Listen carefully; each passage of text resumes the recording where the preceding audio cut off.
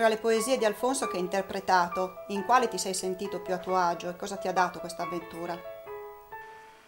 La poesia che mi è piaciuta di più di quelle che ho interpretato di Alfonso è Grand Canyon, una poesia molto ariosa che mi ha dato la possibilità di, di riconoscermi all'interno di questa poesia, dove ci sono questi grandi spazi sconfinati eh, nei quali ci si riconosce, nei quali ci si tuffa e ci si perde, proprio perché ti portano a, a riflettere, a pensare a te stesso.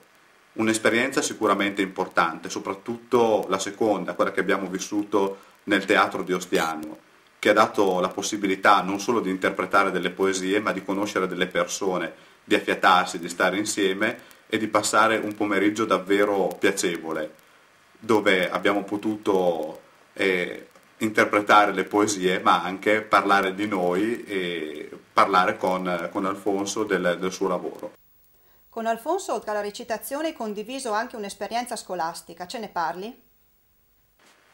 Alfonso quest'anno è venuto nella nostra scuola di Pescarolo per eh, eh, proporci un progetto che noi abbiamo intitolato eh, A Scuola d'Artista, un progetto che ha coinvolto le classi quarta e quinta e che ha coinvolto davvero questi bambini che hanno accettato con entusiasmo l'intervento di Alfonso. Sono partiti dalla costruzione di, di immagini, dalla costruzione di, di semplicissime immagini e sono arrivati all'interpretazione dei quadri di Alfonso, seguendo eh, lo stile di alcuni grandi pittori. Quello che mi ha fatto veramente piacere è vedere dei bambini entusiasti dal primo giorno fino all'ultimo eh, di lavorare con, con, i colori e soprattutto di lavorare con Alfonso. Bambini che aspettavano il venerdì pomeriggio o il sabato mattina per poter parlare con Alfonso e per poter farsi consigliare nel, nel lavoro scolastico, nella costruzione di queste tele meravigliose.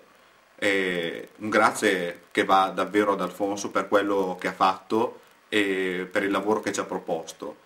Alfonso che è entrato con estrema umiltà nel nostro lavoro didattico e che ha aperto uno spiraglio grandissimo in cui tutti questi bambini hanno saputo riconoscersi e soprattutto ciascuno di loro ha potuto essere un artista. Per, eh, per questi due mesi ciascuno di loro si è sentito sicuramente un artista. Nessuno è stato tarpato, anzi tutti sono stati fortemente motivati a produrre e a fare dei lavori con,